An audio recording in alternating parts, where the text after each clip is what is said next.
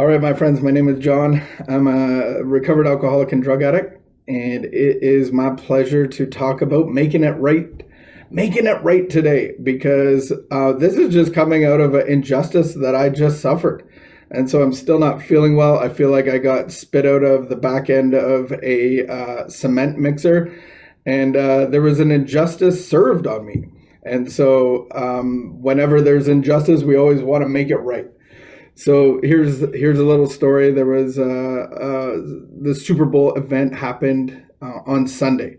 I had a couple friends over, and there was always whenever Super Bowl is there, I'm there for the football, but then for the food as well. So there was a plan for food, and the plan this year was Chinese food. It's unprecedented. Never ordered Chinese food ever on a Super Bowl. Some people said, well, maybe we better order early. It's going to be booked and packed and we'll never get it. I'm like, okay, typically people don't order Chinese food for Super Bowl. That's like chicken wings and nachos. So I think we'll be okay. So I had this plan. We had a little appetizer and then the the I don't know if you caught it, but the the halftime, the halftime show I was not going to be interrupted for that because that halftime show was made for me and my era and generation of, of music lovers. And so I wasn't going to get interrupted. I said, we're going to order food right after the, the Super Bowl. This is the, there was a tribute to Tupac. There was Dr. Dre, Eminem. Like it was a glorious, it was a glorious musical escapade. I think the younger generation kind of just rolled their eyes while all the parents were like dancing in their living rooms and it was a glorious sight. So I, I call, we ordered Chinese food. Obviously, we ordered too much, the typical Jon Ruby ordering. And uh, we sit down, and it was a, a, a glorious meal of, of crispy beef chicken and taco, or not tacos, I'm mixing up my, uh, my, my food. Uh, we had the, the egg rolls, and we had everything Singapore noodles, we had Shanghai noodles, we had sweet and sour. It, we had it all, and it was a glorious spread. And so everything went fine. Uh, one of the Super Bowl teams won the a, a team won the Super Bowl. Everybody went home, and we all went to bed. The next day at about three o'clock, I'm in a store feeling a little faint. I hadn't eaten that day, and I thought maybe it's just you know hunger, and maybe it's this mass. So I sit down um, and and felt a little bit better. I get all my stuff. I get up to the cash. I told the guy at the cash, "Time out, time out, buddy. I just got to run to the bathroom." And I, I hit the bathroom and uh, was there probably too long and uh, came out and the guy was probably wondering where I was. I'm like, "Hey, buddy, I'm back. I'm sorry, a little embarrassed." And uh, got back to the shop and unloaded all the stuff. And I started feeling faint again. I was like, "Man, I better eat something." So I ate a little bit of orange uh, had two little uh, two two of those little nectarines. Wasn't even feeling better. Um, so I decided, all right, I better pack it in. I'm not feeling so great. So I uh, Vicky released me. We we had a little bit of a meeting that evening, Monday evening. So I went home. I was released to go home and lie down. And on the ride home, at the Blair Pass on the highway, I had to pull over and I projectile vomited all over the highway, my friends. I, I can show you where it is. It's probably frozen. I couldn't believe I did that. I shut the door and then one more time. So I, I kind of got it everywhere, all over the highway. And I was like, wow, this is intense. I got home, I had the chills. And lo and behold, Vicky comes home. Later that night, my son gets sick, and we're all vying for the bathroom all night long and and there was wailing and gnashing of teeth like I've never seen before. It, it, was a, a beautiful sight. It was so painful and violent. After we go to the bathroom, we all make we're, we're making fun of ourselves, and it's like okay, next uh, I'm going to try to get some sleep. So we finally we all get to sleep. I think the last uh, ex ex expellation export the last the last bathroom use was about 5 a.m and this is Monday morning. We all took Monday off, and uh, we or we all took Tuesday off and and rested. And so I felt violated. I felt offended. I felt like somebody made a grave error in the culinary world, and I needed them to make it right. And so I said, How do we make it right? How, how does the power of Jon and the sober living life you know, 15 years of recovery. How, how do I make, how do I get justice? Um, we could burn down his place. No, that's not a good idea. We could, well, uh, how about I just phone him? We'll just do that. So I, I phone, I phone the guy, asked for the owner, and I just told him the story. And he said, Oh, I'm so sorry that happened. It could have been this. It could have been something else. It might have been another part. You had a big party, right? It could have been uh, maybe you got a, a, a virus there and I knew he wasn't he wasn't taking ownership of what happened. He was not uh, making it right by any means. But at the end of the conversation, he goes, "I know how to make this right, my friend. Ten percent off discount for your next purchase." And in my head, I said, "Next purchase, next purchase, eh?" I didn't feel like he had made it right, and and so this is what happened. I I just very maturely said, Thank you very much. And I opened up uh, Google, Google Business, where you can leave reviews because I think this day and age, everything is rated on views. Uh, how, how, you know, how many stars and how many complaints. And I was just going to write in caps food poisoning, star, star, emoji, emoji, puke emoji crap emoji, all the emojis that that aren't pleasant, the middle finger emoji like 300 times.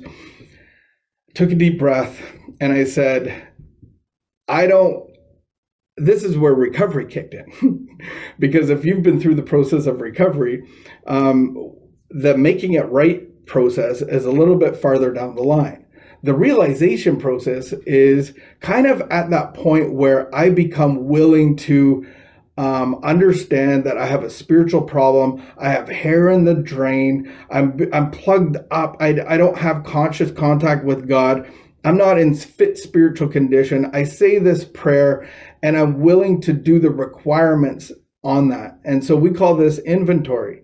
And so we do this inventory and we look at these root fears and we realize the wrongs that we've done to people because of me reacting out of my root fear. So now I can I quickly before I uh, before I posted my my Google review, I said, "Have I ever poisoned anybody?"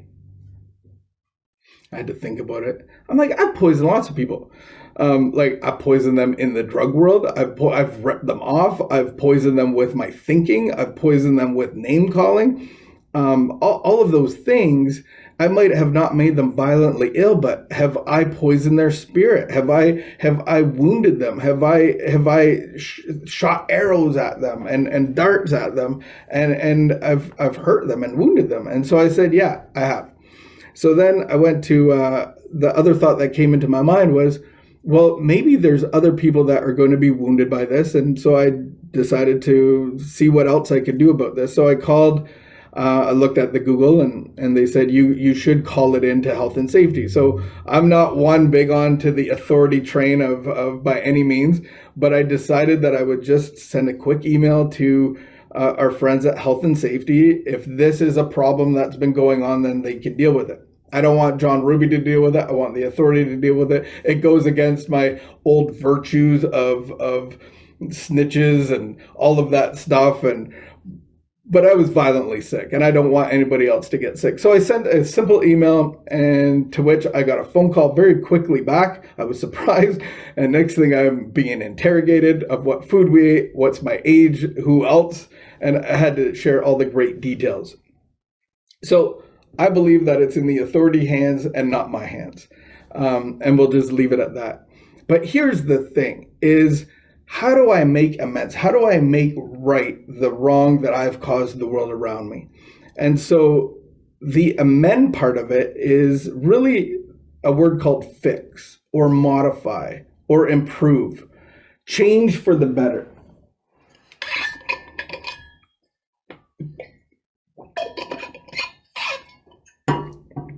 So, do I have that in my life? Um, when I get to this part of inventories and I see this realization of the resentments that I have, and, and I've done the same thing to other people, I've poisoned other people.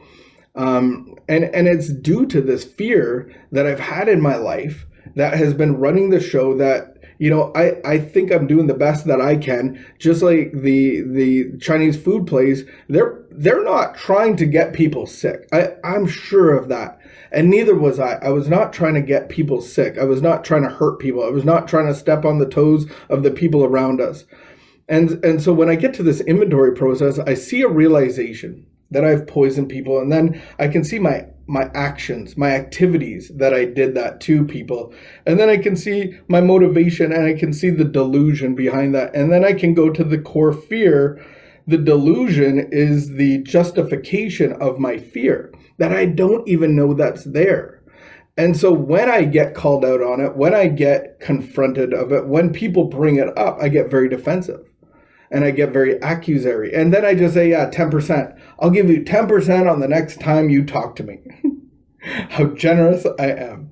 And so to me, that's not really amending the relationship. So I thought, what would it take for this this food place to amend my relationship? Well, they could have given me my hundred dollars back. They could have made me like I don't know what would it have done it. 10% didn't feel right. Would it be a full refund? I think that would have been nice. Maybe a full refund and a gift certificate for like another meal. I think that would have been nice. How about part owner? See, now I'm getting onto the side of like, this is too much. This is not um, changing for the better. Now I'm starting to take it in my mind because of the injustice that served to me. So if I can't see where I've done injustice in the same way, I try to get it fixed on a very different level. I try to take ownership of the store. I'm I'm like flaming arrows through Google uh, Business. I'm, I'm calling the police. I'm, I'm, I'm, I'm boycotting them. I'm putting signs on their window. I'm spray painting it. Um, and, and so I think if I don't see where I've done mis- uh, injustice to others, then when I get injustice served to me, I want it to be amended at a at a huge level that doesn't even make sense. So um, when I've gone through these realizations and I've seen the fears um, that that drive this justification, that lead to my false thinking, that leads to the behaviors that hurt people, I'm poisoning people myself.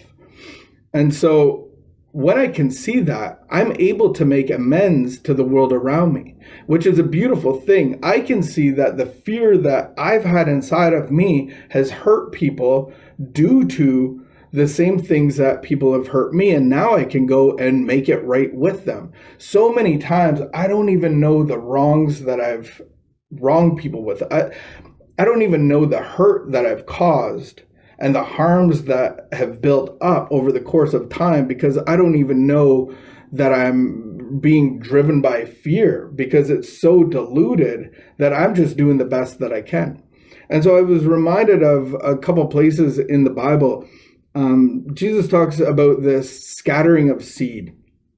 And, and there's four types of soils. And I always thought that everybody was a different type of soil. I thought you know, maybe Josh was, you know, this type of soil and Vicky was this type of soil and, you know, um, I was this type of soil. And the, the goal was you were either one or the other. But I, I kind of had it like in a meditation, I, I felt it differently um, this time where I was looked at the four soils. Uh, one was the, the seed and the, the seed is the truth and and the truth is always going to point out stuff that i'm you know in delusion of. The the truth is always being hidden by my by my justifications. And it's always the truth is going to combat my fear. And so if I'm unable to receive truth, then I can't see my fear and then I can't see how I'm hurting people. So the goal is for my heart to be good soil. Here's the four soils. The the truth falls on the seed falls on a footpath the birds peck it away really quickly. The truth falls on shallow ground, you know, like little ground, like there's a bit of dirt and then it's all clay or rock. And, and so the truth comes up a little bit, the plant comes up a little bit, and I can face the truth, but then it withers away and I don't do anything about it. And then the truth falls among the thorns and and and and the truth rises up the seeds rise up but then they're choked out by the thorns and i don't see what I need to see. And then the last soil is the fertile soil. The seeds go in and deep, and then they start. They, the seed actually has to die before the the sprouts come up. So isn't that the truth? Is where I really have to see this truth and die of myself before there's fruit.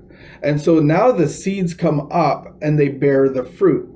And so I truly believe that this process of recovery and going into the inventories is about changing the soil of my heart because I think that there's places of my heart that are shallow. I think that there's places of my heart that are, are full of weeds. I think there's places of my heart that are rocky ground. And the goal of recovery is to really churn up the ground and for God to do what I can't do for myself in my heart and make my heart all useful ground. And that's only if I can see the truth. And so doing the inventories is actually going to let me see the truth and let me see the harms because when I see the, the truth of me poisoning people and the reasons why I get at the end of it, and if you've done the inventories, you'll get to see who have I harmed in this? Who have I harmed with this fear? And you might be blown away the first time you've done this. And you're like, I had this big resentment, and all of a sudden it's all about me what the heck is this process all about? Rah! Maybe you've had that experience. Um, there's this law, spiritual law of reaping and sowing. And Jesus says this law. And it, it, it goes in the physical world too, right? I put a seed in the ground, it dies, and then it grows and, and it absorbs nutrients and water. And then that one little corn seed produces, you know, a thousand more different uh, cobs of corn with a thousand more different um, seeds on it, kernels of corn. And so that's what happens in the spiritual world when I get the truth and and and the whole law of reaping and sowing is this amends part, seeing the harm, seeing the truth, and making amends. So when I go to make amends, when I go to change the relationship for the better, when I go to modify the relationship, when I go to fix the relationship and improve the relationship, I'm actually using the law of reaping and sowing. So I, I'm I'm sowing um, amends. I'm sowing forgiveness. I'm sowing love. I'm sowing peace. I'm sowing comfort. I'm sowing joy, and that's what I get back in return. And so when we look at the law of reaping and sowing, you always reap after you sow, you always reap more than you sow, and you always reap the same as you sow. Um, that's kind of the, the fundamentals around that law. Uh, the other, when we talk about the forgiveness and amends in session 16 of Life Lab, we read that story about Zacchaeus.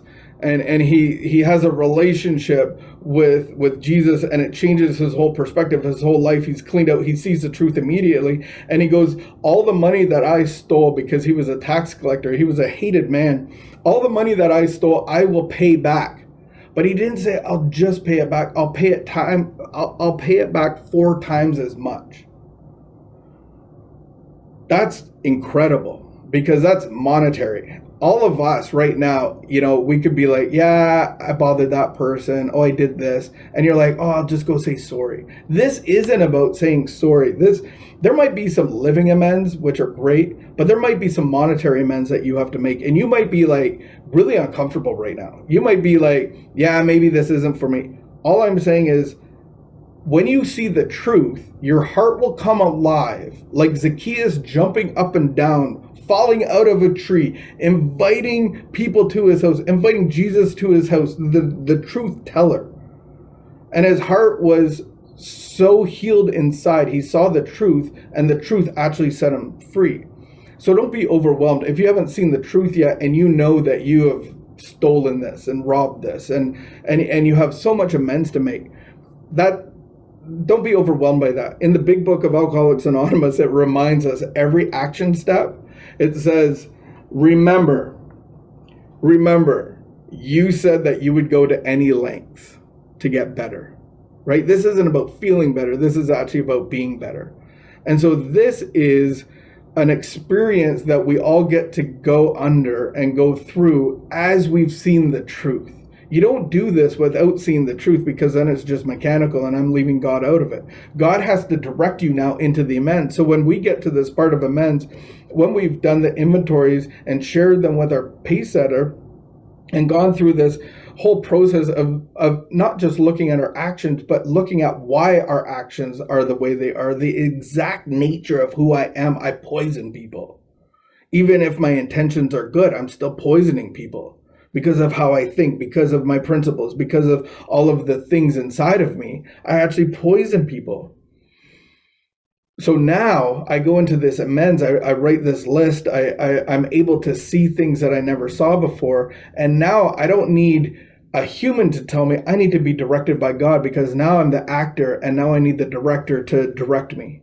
And so it was about a year and a half ago when I, or probably two years ago when I went through this process again because it is secular. I think for me anyway, I think going through the the doing an inventory every couple years is beneficial, and you will see things that you might not have seen before. If we look at our our our heart as four different parts of different grounds, I want all of my heart to to be fertile, and so I went through this inventory um, two years ago, and I saw fear that I never saw before. And then in my meditation, I wounded a man, um, and and not in a not in a malicious way, but in a way that because of this because of because of the fear that got brought up it was about being exposed. I'll be exposed due to my weaknesses as a leader. So then i can be in a position of being a know-it-all I can be in a position of like, well, I know all these answers. I'm leading a, a, a, treatment center. I lead men's recovery. I do all these things and I have all the answers.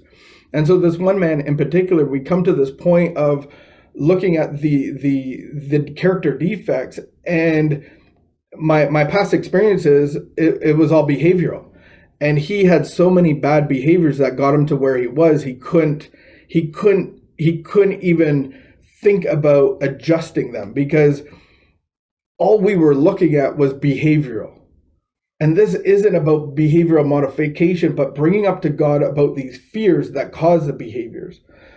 So I did him an injustice and I came as a representation of God in a behavioral management way of like, you got to do something about these behaviors, which it's impossible for him to do. And that's the whole point. This the whole point of this is to show us that we can't do this and God can. And so I, I made a call to this guy, I hadn't talked to him in a number of years, and we had lunch, and I was able to um, remind him of the process that we got to and where he quit. And I said, You quit because of me. You didn't quit because of the real truth of the process. I was a bad representative of God's love and God's peace and God's power. And so he quickly was like, oh man, don't even worry about it. And we had a great, he came alive spiritually because I don't think he's ever been able to talk about this kind of recovery stuff with anybody else. Um, and so it kind of rekindled the, I would say I made it right because we changed the relationship for the better. We modified it because I came as an agent of really not understanding God's love and peace like I'm supposed to because the whole process of the 12 steps is just a mirror to say that I can't do this. I don't have the power to take away these fears. I don't have the power to take away resentment. I don't have the power to take away the the drinking problem or the drug problem or the food problem or the porn problem or fill in the blank.